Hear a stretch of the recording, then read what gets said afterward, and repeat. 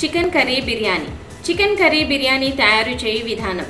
ఒక బాణలిలో నూనె వేడి చేసి సన్నగా కట్ చేసిన ఉల్లిపాయ ముక్కలు మరియు కొంచెం ఉప్పు వేసి దూర రంగు వచ్చేంత వరకు వేయించుతూ అల్లం వెల్లుల్లి ముద్ద కొంచెం పసుపు వేసి పచ్చిదనం పోయేంత వరకు వేయించుకొని సన్నగా కట్ చేసిన పుదీనా మరియు కొత్తిమీర అలాగే ధనియాల పొడి కారం పొడి వేసి కలుపుకొని తర్వాత చూడండి చికెన్ ముక్కలు ఇలా పెద్ద పెద్దగా కట్ చేసి వేసుకోవాలి.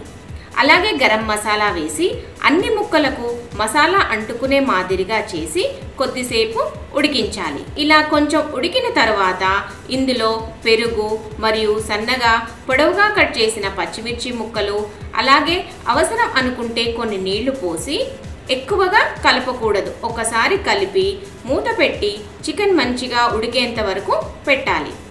ఇప్పుడు బిర్యానీని తయారు చేసుకుందాం. ముందుగా ఒక ప్లేట్లో లవంగాలు యాలకులు దాల్చిన చెక్క అనాసి పువ్వు బిర్యానీ పువ్వు వీటన్నింటినీ పౌడర్గా చేసి పెట్టుకోవాలి.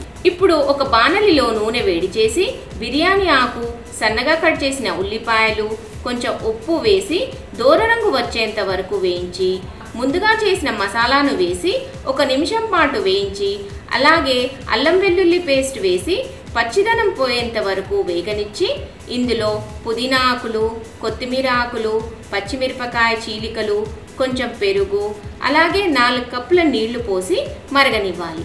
మనం ఇక్కడ రెండు కప్పుల బియ్యం తీసుకున్నాం కదా అందుకని నాలుగు కప్పుల నీళ్ళు పోయాలి.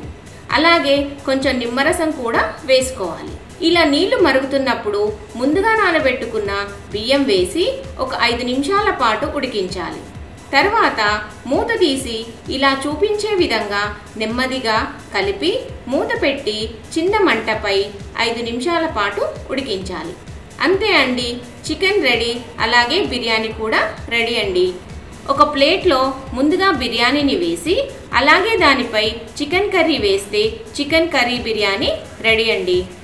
ఇలా బిర్యానీని సపరేట్గా చేసి దీనితో పాటుగా చికెన్ కర్రీ కానీ మటన్ కర్రీ కానీ వెజ్ కర్రీ కానీ వడ్డిస్తే ఎవరికి ఇష్టమైన బిర్యానీ వారు ఇంట్లోనే ఎంజాయ్ చేయవచ్చు.